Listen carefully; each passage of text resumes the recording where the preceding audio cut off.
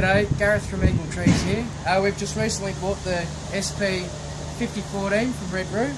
Uh, we've gone from a small little sump pumper um, to this big boy. Um, the benefit with this one, we've uh, gone for the Sandvik teeth, uh, which only after a few hours we've noticed that um, they take a bit more uh, before they need to be sharpened. Also, we've got the expandable tracks, so there's a bit more stability um, when we're grinding on uneven surface. Um, only after a few hours. We still haven't gone through a full tank. We've done done 14 hours. We've only gone through a quarter of a tank, so pretty good on fuel. Today we've got a liquid amber stump, uh, 1.2 metres uh, across.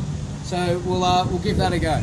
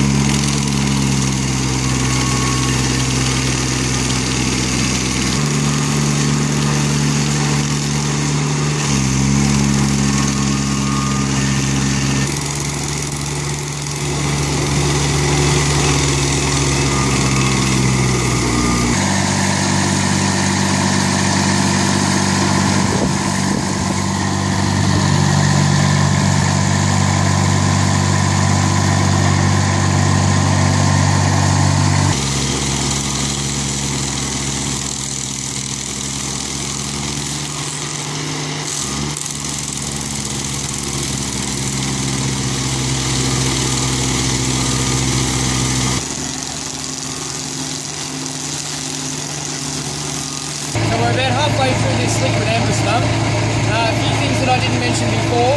Uh, Dan was using the remote control, which uh, basically is only wearing out his fingers, not wearing out his body, which is a great uh, part of machine.